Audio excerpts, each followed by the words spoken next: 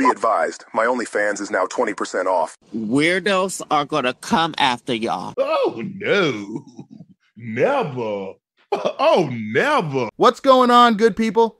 Get ready because we're about to drop a take so explosive it's gonna blow your mind and flip the script entirely.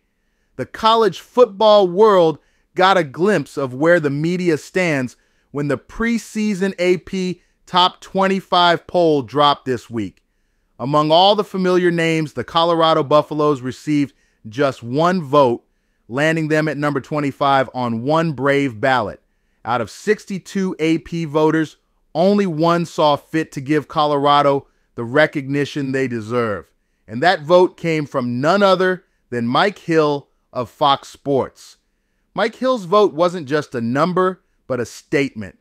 Hill, who has spent over a decade with Fox Sports, understands what Coach Prime is building in Boulder.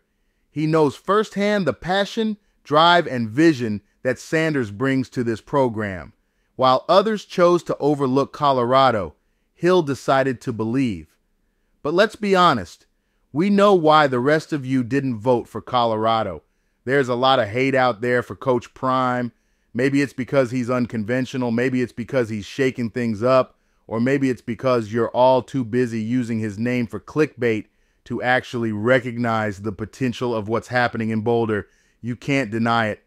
Coach Prime's name brings in views, drives engagement, and makes you money. But when it comes time to give credit where it's due, you all fall silent. Well, here's the truth Coach Prime is building something special in Colorado, and deep down, you know it. You know what's coming, and it scares you. So keep hating, keep doubting, and keep profiting off his name. Meanwhile, we'll keep working and keep believing. And when the time comes, we'll have the last laugh.